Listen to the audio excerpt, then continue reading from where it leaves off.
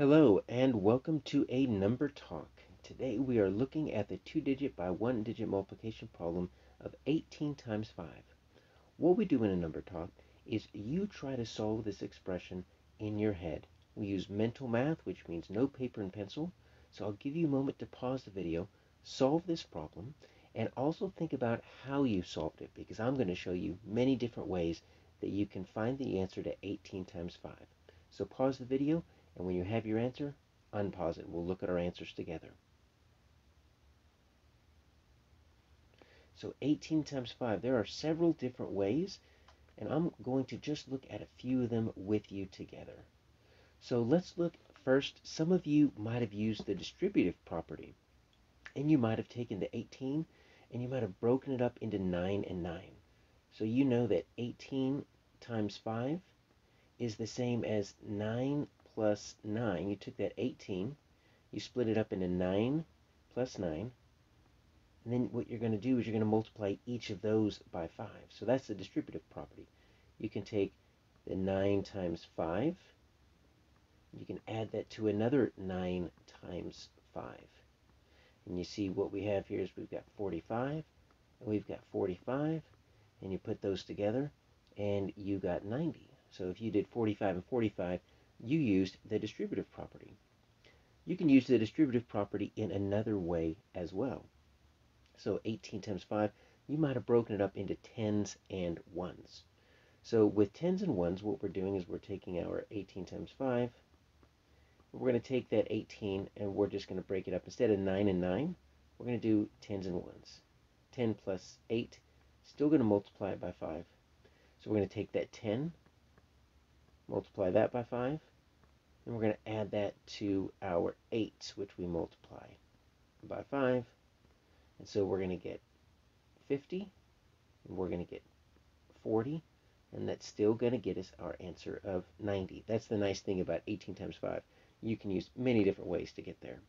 Another distributive property is you might have doubled the 18 and doubled it again and then added one more 18. And really, that's just the distributive property. So watch, we'll do the same thing again. 18 times 5. We're going to, instead of breaking up the 18 though, guess what we're going to do? We're going to break up the 5 into a 2 plus 2 plus 1. Really what we're doing is we are doubling the 18. So we're going to do 18 times 2. We're going to distribute this 18. Then we're going to add another 18 times 2. Then we're going to add an 18 times 1, which is just 18.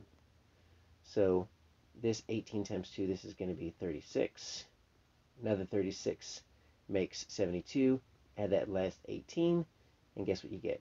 90. Always getting 90. Now, some of you might have doubled and halved, and that's actually a pretty good strategy. Can't always use it, but what we know when we double and half, watch this. We can do 18 times 5 if we take half of one number, so half of 18 is 9, so you notice how we took this part off right here, we can actually double the other number. Double of 5 is 10. You notice how we took our 5 and we added this other section right here.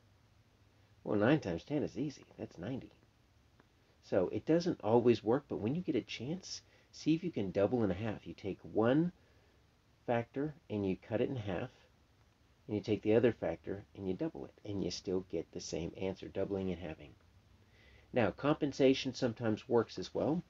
So 18 times 5, well, that's kind of helpful. But really what we're going to do is we're going to look at 20 times 5. And we know that 20 times 5, well, what we did is we just added 2 extra. So that's really just 18 times 5 plus an extra 2 times 5. And why would we do that? Well, 20 times 5 is easy. 20 times 5 is 100. And then I know I've just got to take away this extra 2 times 5. So that's an extra 10.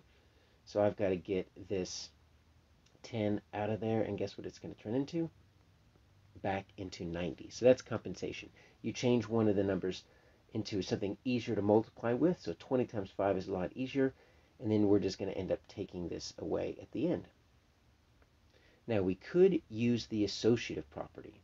Now the associative property is a little bit different, but it's a way of thinking of 18 times 5. And really what we're going to do is we're going to break up this 18 times 5 into 2 times 9. So we're not going to necessarily add. We're just going to change this 2 times 9 times 5. And what we're going to do is we're simply going to change the group. The associative property is the grouping property. Watch what I do. Since they're all multiplication, what we could do is we can simply change the parentheses. Look at that. I kept my factors the same, 2, 9, 5. 2 times 9 times 5. I just changed the grouping. And so now I've got two groups right here. And I've got, each row has got 9. So I've got 1, 2, 3, 4, 5, 6, 7, 8. 9 groups of 5. So what are my 9 groups of 5? Well, that's 45, and that's 45. So what we did here is we just changed the grouping or the association of the factors. We changed the 2 times 9 into a 9 times 5. We can also use the associative property a different way here because we've got our 18 times 5. There's a few different ways to make 18. Now 5 is a prime number, so we're not going to be able to break that up. But we can also do 3 times 6.